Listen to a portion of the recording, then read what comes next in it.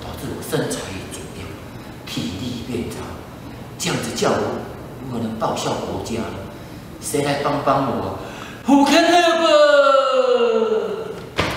营养师 can help。哇，是营养师，赶快来帮我想想办法吧。别担心，让我来教你如何吃的均衡，吃的健康，这样才有体力报效国家。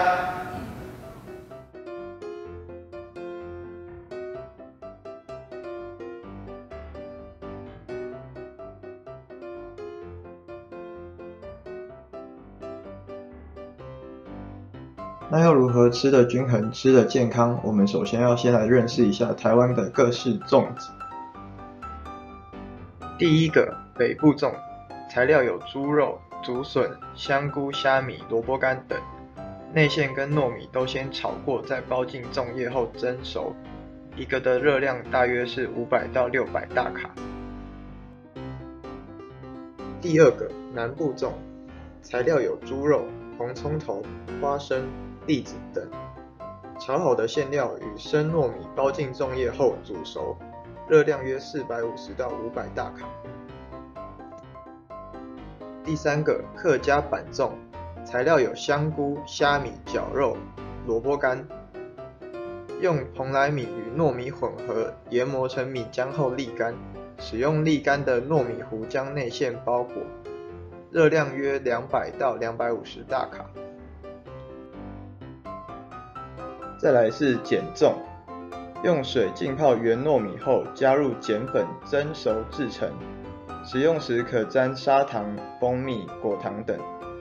不沾糖的热量大概是一百到一百五十大卡。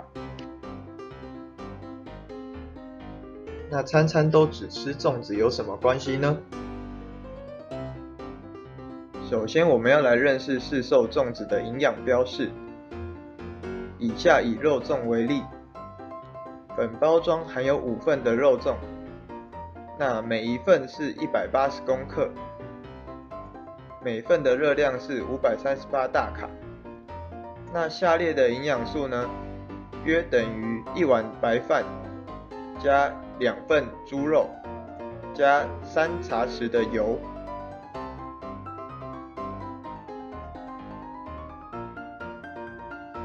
根据每日饮食指南建议。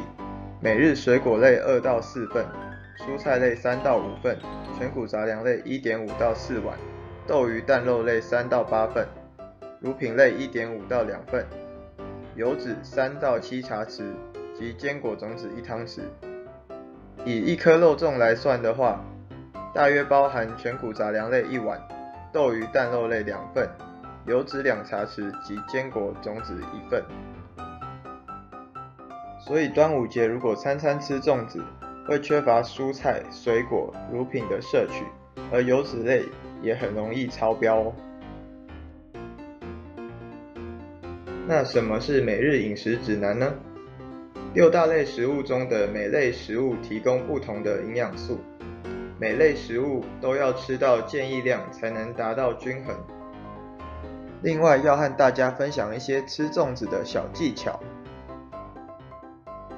配点蔬果解油腻，建议粽子要搭配青菜、水果一起吃，不止解油腻，还能补充维生素、膳食纤维，刺激肠胃蠕动，帮助消化。视为正餐非点心，粽子的热量足以当做一顿正餐，可别以为只是吃个小点心哦。还有别忘了细嚼慢咽，充分咀嚼后再吞下。帮助油腻馅料和糯米的消化，也能增加饱足感，避免过量。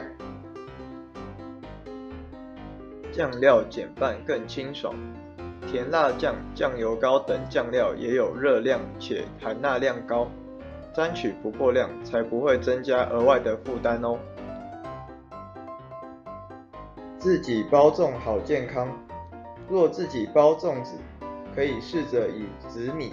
糙米取代部分糯米，选择低脂的肉类和坚果代替传统五花肉或蛋黄，花点小巧思变换食材，美味又健康。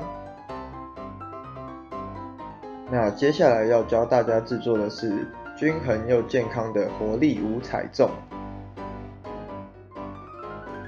制作五颗活力五彩粽的食材有：长糯米一百克、五谷米一百五十克、银杏十克、毛豆仁二十五克、胡萝卜三十克、干香菇丝五克、虾米两克、紫洋葱六十克、鸡里脊两百克，以及油十五克。制作步骤如下：将长糯米、五谷米泡水后蒸熟备用。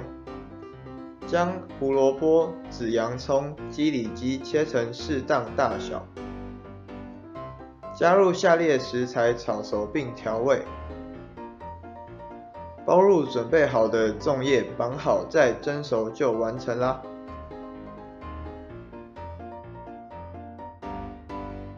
一颗活力五彩粽的热量有两百六十二点五大卡，蛋白质十五公克，脂肪四点五公克，碳水化合物四十点五公克，膳食纤维二点六公克，低热量少负担。